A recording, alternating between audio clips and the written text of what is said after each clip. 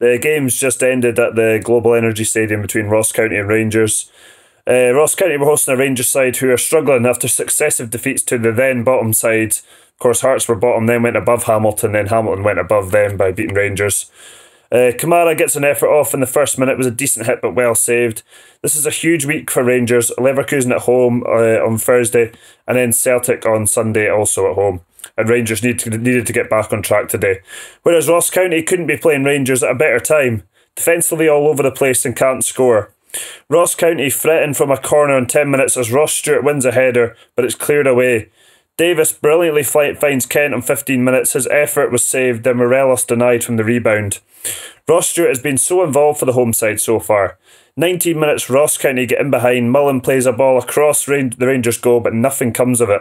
The home side will feel encouraged that it's nil nil after 20 minutes. Kamara looking good so far for the first time in a while. Barisic whips in a good ball in 24 minutes into Morelos, but he gets the header all wrong. Nine games without a goal now for Morelos after this one. 26 minutes, Fraser gets a good block on a Morelos effort, yet another corner for Rangers. In terms of Rangers' performance in the opening 32 minutes, it's very flat, not looking likely of going ahead at the moment. Moment there, there for Ross County. Two minutes later, Fraser finds Fontaine, who knocks the ball down, but no takers.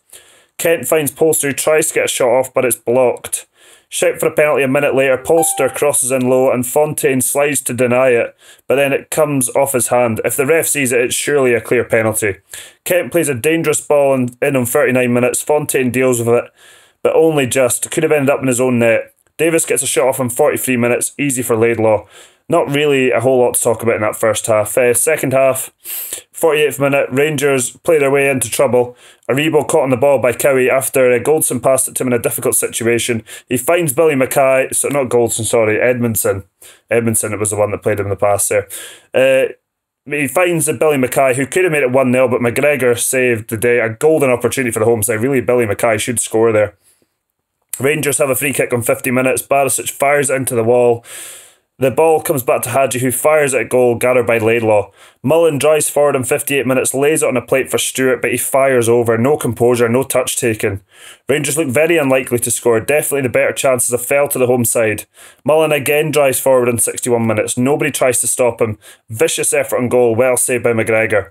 Laidlaw feigns an injury in 64 minutes to stop Kamberi taking a corner quickly after forcing the keeper to an awkward situation where he won the ball off him and then it actually went out for a corner but uh, he goes down uh, holding his leg.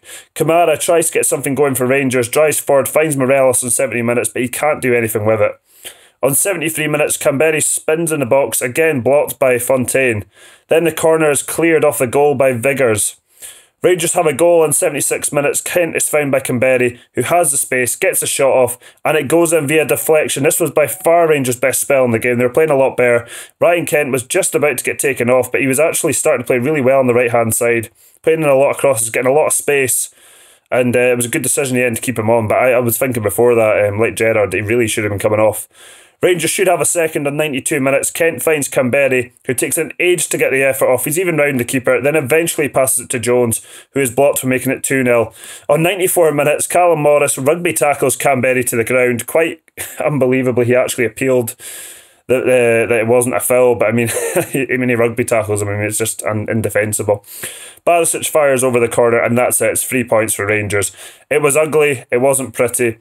But at the end of the day, it's uh, it's three points. Ross County will probably feel aggrieved that they maybe could have got a point out of this game, but the three points is what mattered for Rangers, and uh, you know on to a huge challenge on Thursday against Leverkusen um, at Ibrox, and then of course the Old Firm on Sunday, and then Leverkusen again on the following Thursday at the Bay Arena. So um, a huge 10 days or so for, for Rangers anyway, well, maybe 11 days. Uh, so, anyway, I'll be back for the Rangers Leverkusen game. Hopefully, um, it'll be maybe more positive, but I mean, it's going to be a very, very difficult game, so we'll see.